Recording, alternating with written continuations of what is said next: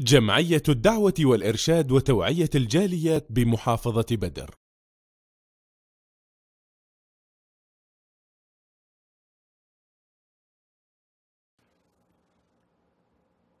আসসালামু আলাইকুম রহমতুল্লাহ আবরাকাত আলহামদুলিল্লাহ ওসলাত ওসালাম আলা খৈরি খালকিল্লাহ মুহাম্মদ ইবনে আবদুল্লাহ ও আলা আলিহি ওসাহবিহি আজমাইন আম্মাবাদ সুপ্রিয় দর্শক ও শ্রোতা বন্ধুগণ অভিভাবক এবং তাদের অধীনস্থ কন্যাদের সম্পর্কে আজকে কয়টি কথা বলব। তা হলো, কাদের কাছে বিবাহ দিবেন এবং কাদেরকে স্বামী হিসাবে নির্বাচন করবেন?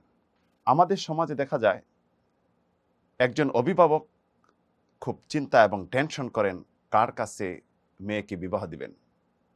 ছেলে চাই বংশমর্যাদা ধন্যাট্য স্মার্ট আধুনিক যুগে সব কিছু জানে, বুঝে, পারিবারিক, ফ্যামিলিগত সবভাবে ওকে আছে।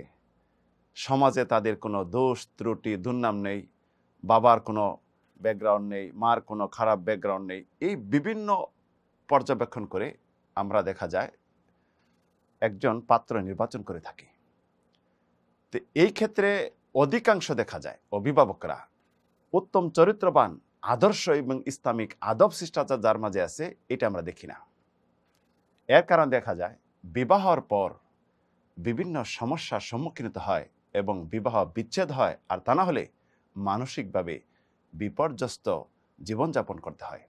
ইসলামিক দৃষ্টিতে একজন মুসলিমের উচিত যেটি প্রাধান্য দিবে। ধার্মিকতা, যার জন্য বিশ্বনবী সাল্লাহ আলি সাল্লাম স্পষ্ট করে দিয়েছেন অভিভাবকদের উদ্দেশ্যে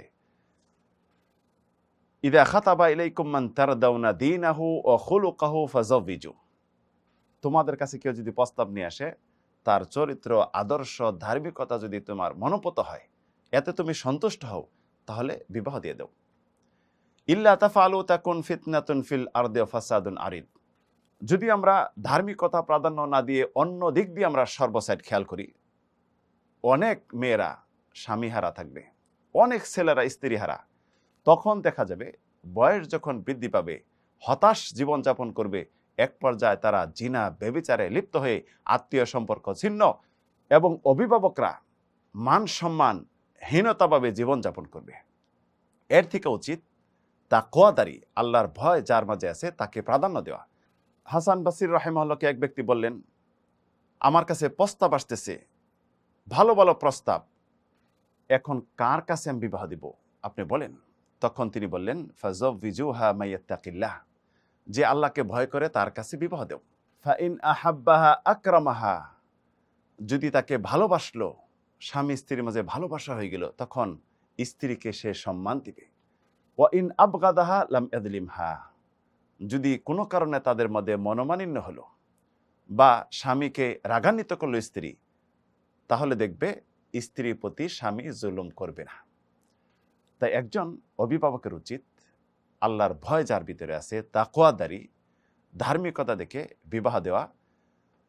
তবে সার্বিক বিবেচনায় যদি এমন হয়, সব কিছু আছে বরণ পোষণের ক্ষমতা নেই, ভালোভাবে পর্দায় রাখবে বা বাসস্থান দেবে, এর ক্ষমতা নেই, তাহলে বিবাহ দিবে না।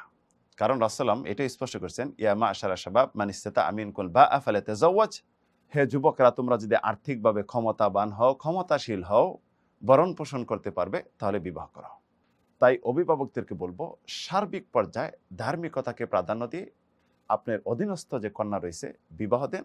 তাহলে দেখবেন, এই দুনিয়াবী জীবনের শান্তি এবং আখেরাতে আপনাদের জন্য রয়েছে মহাকল্যাণ।